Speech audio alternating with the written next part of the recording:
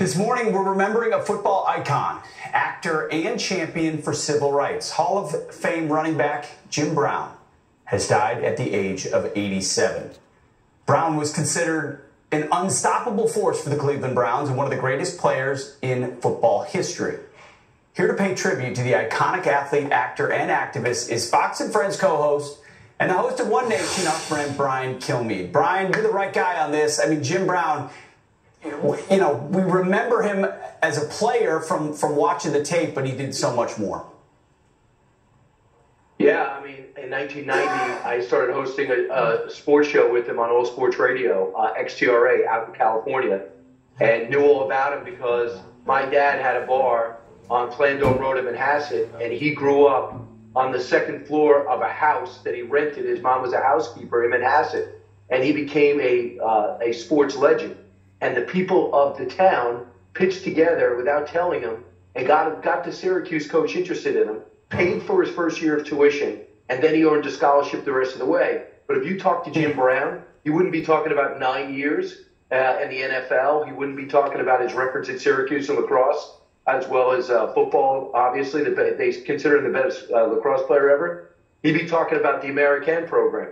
He literally, Pete, went into prisons and taught life skills He'd go into the worst of the worst, infiltrate gangs, bring them up to his beautiful house overlooking uh, overlooking Hollywood in California, and he would broker peace deals with gang members. And that's what he wanted his legacy to be.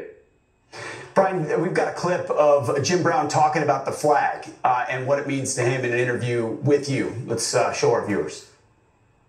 Shannon Sharpe, a Hall of Fame tight end, said this on Fox says if what Jim Brown's saying is true, if what Colin Kaepernick is doing in 2017 is wrong, then what Jim Brown did in 1967 was wrong when he led a protest to support Muhammad Ali for being a conscientious objector to the war. What do you say? We should never denigrate our flag and our national anthem.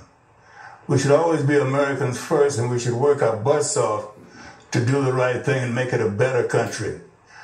But to not respect your flag and your national anthem is something that I would never do. Brian, I didn't, I didn't realize your, your, your lifelong connection to him. It's it's pretty cool to be close to someone that significant.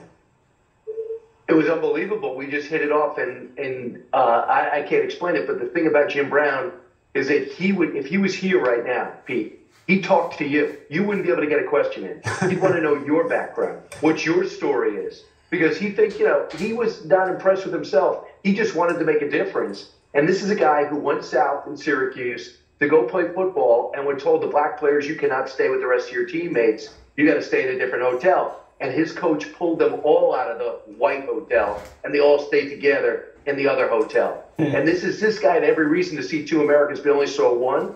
And he just made a huge difference. And he had a chance to do it again when he married uh, Monique and then had two kids, both in college now, one at USC and I believe one at Hampton, I'm not positive, a historical black college, both great athletes, great people. And he said, Brian, I'm into scholars, not athletes. And I also think that uh, what Jim Brown did is he loved Trump. And I said, why do you like Trump? And yet you're playing such a role in his administration and not the other. He said, I couldn't get Barack Obama to call me back. I'm talking about criminal justice reform, what has to happen in prisons. The hmm. Obama administration would not get back to him. And Trump did. He said, come to my office. And he did. And the criminal justice reform had a lot to do with the curriculum that Jim Brown put together uh, in working with these prison uh, in prisons for 20, 25 years. They would actually have graduation days in lockdown and teach people life skills. So when they got out, they'd be members of society. Wow, talk about someone trying to actually deal with root causes and then recognizing America's the kind of place yeah. where we can move past our sins and always respect the gift we've been given. Uh, well done. Brian, uh, you got a great show coming up tonight. What do you got on One Nation?